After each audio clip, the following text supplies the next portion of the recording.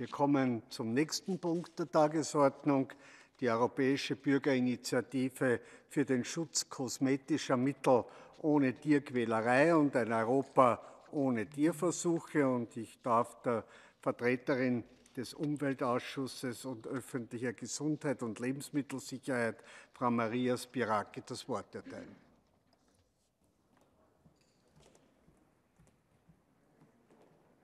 Thank you, Mr. President, Commissioner Jourova. The Save Cruelty-Free Cosmetics Commit to Europe Without Animal Testing European Citizens Initiative has gained more than 1 million signatures from at least seven member states, and its organizer presented this case in a hearing before the ENVI committee on May 25 in, in the committee, and you were present, Madam Commissioner. Members of the initiative expressed strong concerns that despite existing legislation, banning animal testing for cosmetics in vivo testings is on the rise. The initiative calls on the Commission to protect and strengthen the cosmetic animal testing ban and initiate a legislative change for all cosmetic ingredients without resorting to animal testing.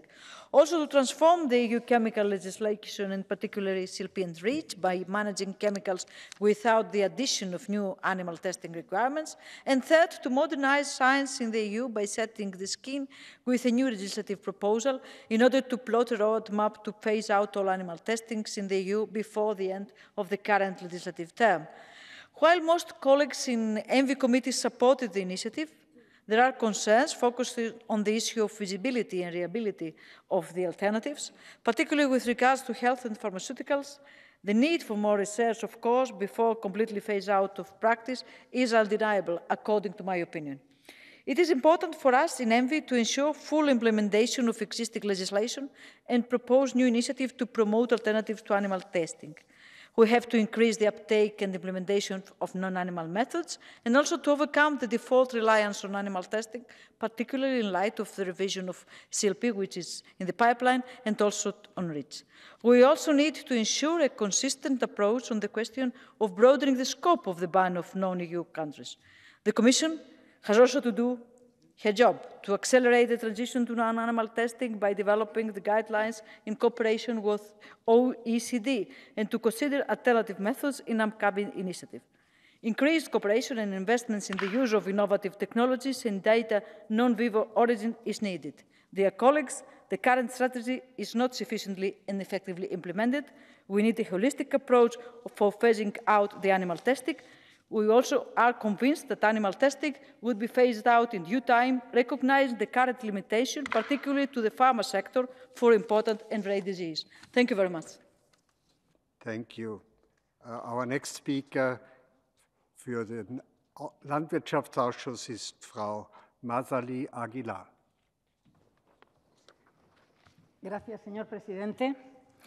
Bueno, esta iniciativa, que parte de un gran número de ciudadanos de los diferentes Estados, está pidiendo a la Comisión proteger y reforzar la prohibición de la experimentación con animales para la industria de cosméticos, pero también está pidiendo modernizar la ciencia de la Unión Europea, eliminando progresivamente todos los ensayos con animales antes de que finalice la actual legislatura. Desde una perspectiva científica, sobre todo en lo relacionado con las enfermedades cerebrales y, en concreto, con la enfermedad de Parkinson, una prohibición total del uso de animales en la investigación biomédica sería un error.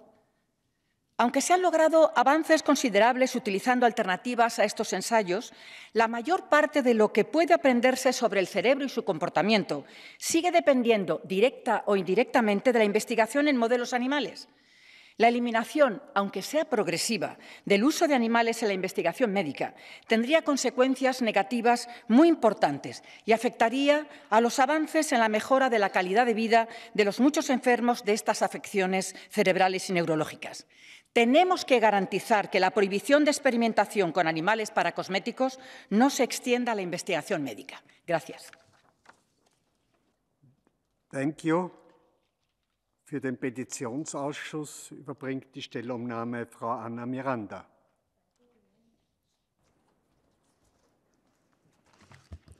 Muchas gracias, presidente. Señora comisaria, en nombre de la Comisión de Peticiones del Parlamento Europeo, quisiera aprovechar esta oportunidad para felicitar a los organizadores por su buen trabajo y por haber recaudado el apoyo de 1,2 millones de europeos y europeas comprometidos en eliminar los ensayos con animales en la UE eh, antes del final de la actual legislatura. La herramienta ICE vuelve a dar visibilidad a las iniciativas ciudadanas promoviendo la democracia participativa.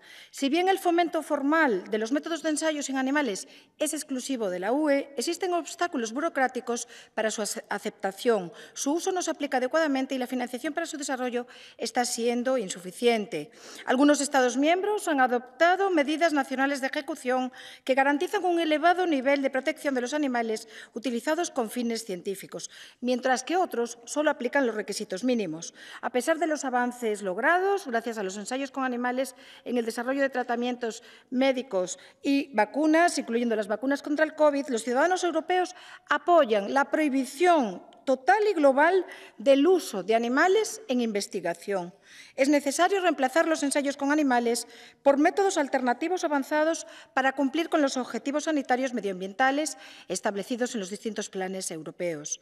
Para lograr el objetivo de la Directiva 2010-63-UE, es crucial mejorar la coordinación entre los Estados miembros y las partes interesadas para desarrollar un plan de acción a nivel de la UE que promueva la reducción, perfeccionamiento y sustitución de los procedimientos con animales vivos. Esto debe hacerse sin comprometer la protección de la salud humana y el medio ambiente ni poner en riesgo la soberanía tecnológica de la UE. Es necesario fortalecer también el espacio europeo de investigación y basar el plan en la investigación realizada en la UE hasta ahora. También mecanismos de financiamiento preferencial para los métodos sin animales en todas las iniciativas de investigación. Las instituciones académicas tienen un papel esencial y deben promover alternativas a los ensayos con animales, difundiendo nuevos conocimientos y prácticas. Debe priorizarse la educación y capacitación de científicos. Hay muchos elementos a analizar y estoy segura que la presentación de hoy será muy útil y constructiva. Muchas gracias. Paljon kiitokset kollega Miranda. Ja nyt olemme kuulleet valiokuntien ehdotukset ja sitten seuraavaksi komission puolesta varapuheenjohtaja Veera Jourova, olkaa hyvä. Madam President, honorable members of the Parliament, thank you for the invitation to come and speak on behalf of the European Commission at this plenary debate on the initiative Safe Cruelty-Free Cosmetics Commit to a Europe Without Animal Testing. First of all, I would like to thank the European Parliament for having organized a successful public hearing on the 25th of May. And at this occasion, I also want to congratulate again the organizers for collecting 1.2 uh, million uh, signatures uh, in a record time and uh, we heard from them uh, their arguments. Uh, we listened very carefully. The organizers had a chance to present their initiative and the different members to express their views also. And today's plenary debate gives me and my colleagues preparing the Commission official reply another opportunity to listen carefully to the, uh, to the contributions and interventions from various members. This initiative reminds us that animal welfare is a significant concern for European citizens and a long-standing principle in European legislation. It requests to strengthen the animal testing ban under the cosmetic regulation. It then addresses all legislation requiring animal testing for chemical safety assessments, REACH legislation on plant protection products, biocides, pharmaceuticals and others. Lastly, it extends to basic and applied research, including biomedical research, training and education. On the first issue related to cosmetics, it is important to note that the cosmetics regulation already bans animal testing for cosmetic products and ingredients for safety assessment requirements of that regulation. However, other legislation may still require animal testing, for instance, to assess hazards to workers' health or the environment. Regarding chemical safety assessments under different legislation, I would like to underline that already today animal testing is allowed only as a last resort. However, as experts uh, of agencies like the European Chemicals Agency or member state authorities confirm, we are not yet able to fully identify all hazards to health and the environment without some animal testing. The good news is that we see significant progress in the development of animal non-animal methods in recent years.